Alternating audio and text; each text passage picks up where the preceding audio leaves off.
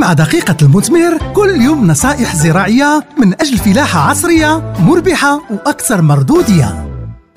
أخي الفلاح أختي الفلاحة في حلقة اليوم غادي نتعرفوا جميع على أسس تسميد العمق لزراعة الكاوكاو أو الفول السوداني.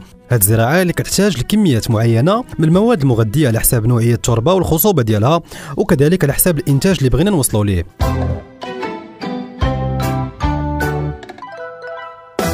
أخي الفلاح أختي الفلاحة إلا بغيتي دير برنامج بالعقل ديال تسميد الكاوكاو ديالك عندك طريقتين. الطريقة الأولى واللي كنصحوا بها ديما الفلاح كتعتمد على التحاليل ديال التربة وديال الأوراق واللي يمكن تحدد ليك ال engrais ديال سباق الأرض وديال التغطية. الطريقة الثانية اذا ما توصلتيش باش تحلل التربة والأوراق ديالك كتعتمد على كمية تقديرية على حسب ال tonnage اللي كنوصلوا ليه والاحتياجات التقديرية لكل هكتار. وإلا اعتمدنا على الاستخلاصات ديال هذه الزراعة فممكن نقولوا باللي باش نسمدوا هكتار واحد ونوصلوا لواحد الإنتاج ديال 5 حتى 6 طن ديال الكاوكاو خاصنا نجيبوا من 150 حتى 200 وحدة من الازوت من 25 حتى 30 وحدة من الفوسفور ومن 75 حتى 85 وحدة من البوتاسيوم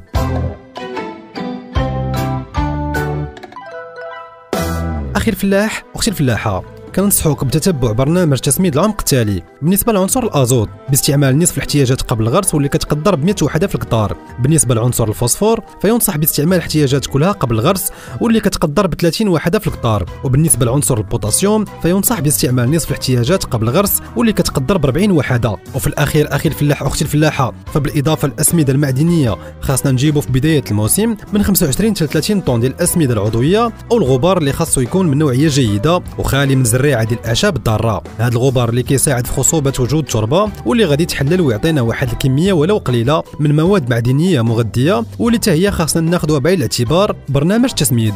والله المعين. مع دقيقة المثمر اليد في اليد من أجل فلاحة مثمرة ومستدامة.